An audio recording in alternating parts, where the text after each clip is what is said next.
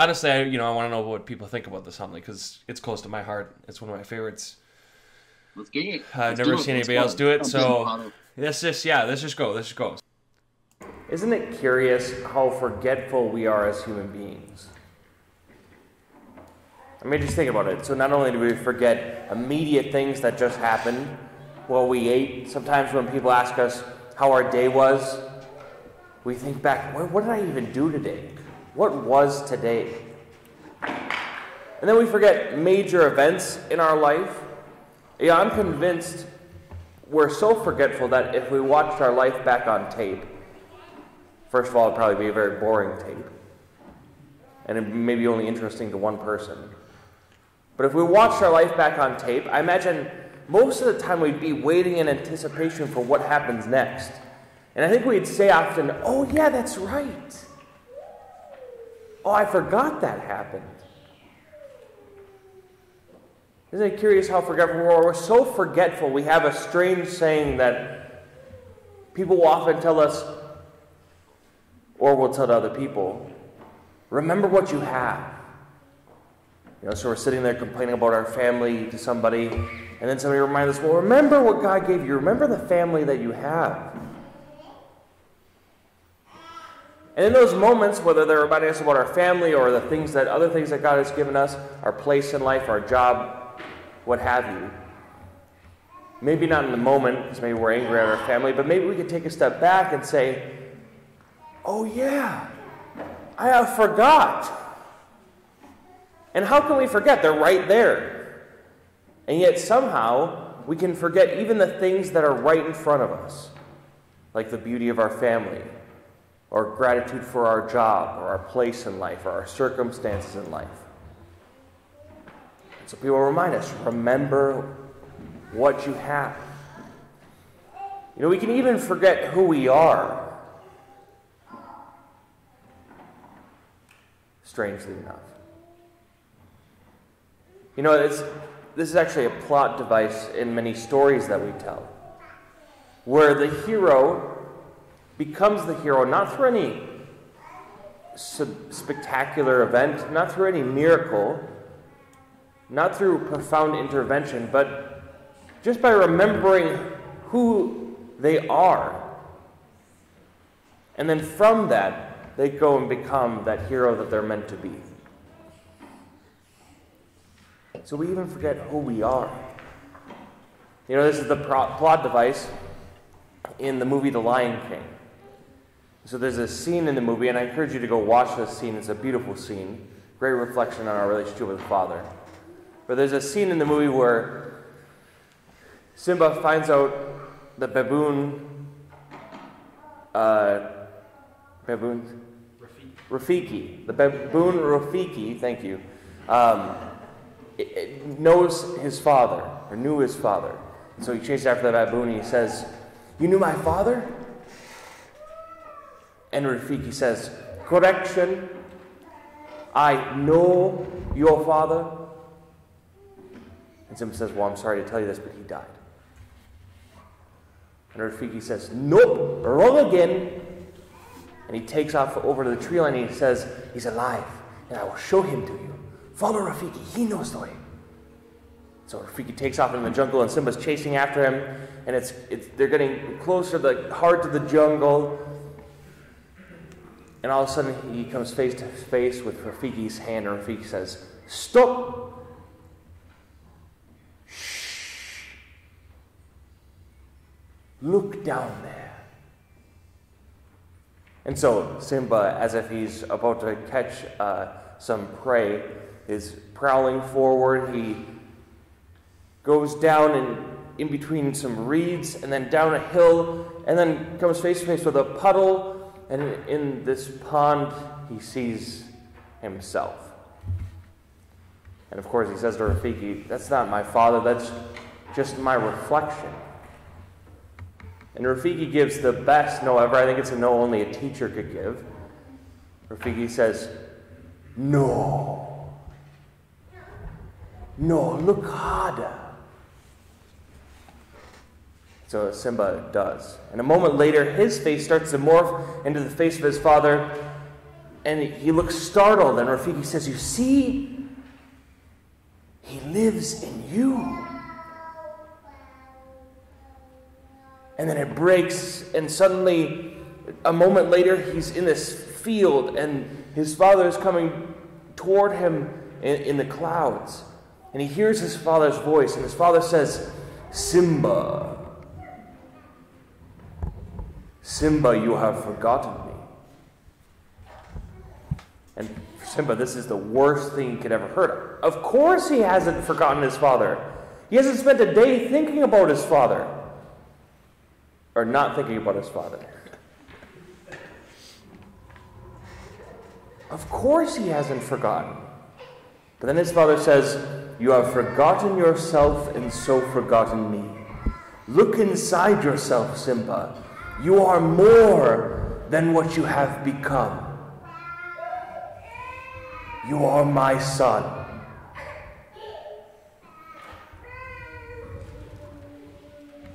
That's the change of the movie to Lion King. That's the whole crux of the movie.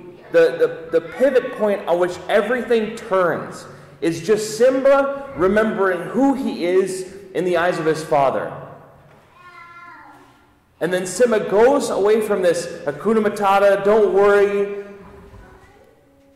to deciding to take on the responsibility that might even risking his life to step into his role as king in the way of his father.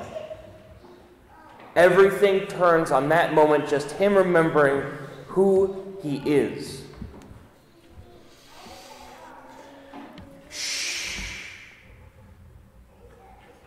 There's a lot of noise in our hearts. There's a lot of noise in our hearts almost always, but especially during these times.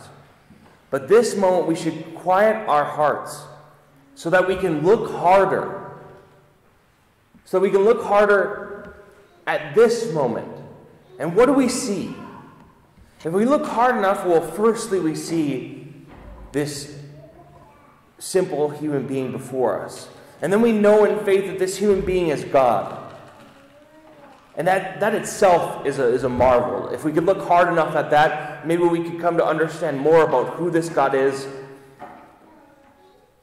and what He's calling us to, and the beauty of Him, and His goodness. Because we see in that our God's humility, which is a strange word to ascribe to God. And so that itself is to be pondered. Why would God show himself in humility? It seems almost antithetical to God. And so that tells us something about who God is, something to be pondered, but also his extreme generosity. And so if we look hard enough, we start to see who God is in a way that nothing else except his word could speak. But then, as we look closer and as we realize what that means, we see God in this. We see God in us. You see, He lives in you. You see, we celebrate today, certainly, the only begotten of the Father, the Son of God. But especially today, because the Son is always chosen by the Father. But in this moment, through his choice of his son, he also chooses us and calls you son and daughter. And that's the marvel of today. Remember who you are. You are your father's son. You are your father's daughter. You are more than what you have become. And so, no more Hakuna Matata. It's a tempting lie, a very tempting lie. It's the lie that says, oh, don't worry. You know, the, the king's very, he's, it's kind of tyrannical. You know, his, a lot of responsibility there. You know, that's not the place of your happiness. You know, rather lay, lay back. You know, life, you know, just, just find the path that you want. Find your happiness.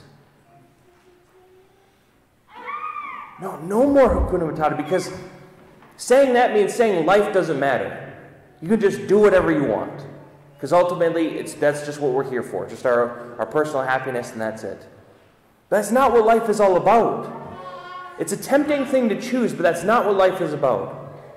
Life is not just about happiness.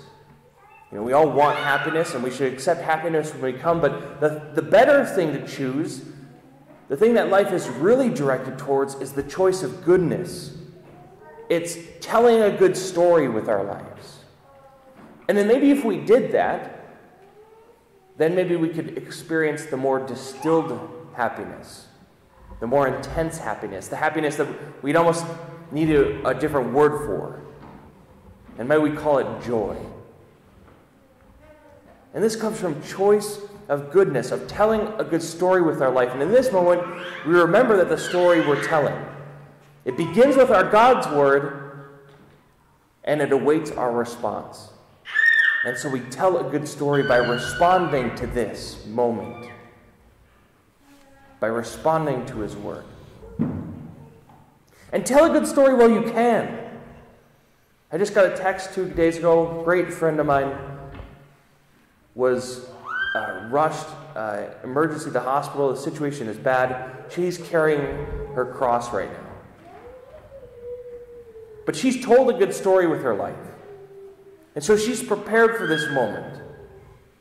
And this moment even adds to the beauty of her story. But tell a good story while you can because we don't know when it's going to be time for us to carry our cross, which is the message of Advent. Wake up, now is the time. Change while you can. Tell your story while you can. Give your response to God while there's still time left.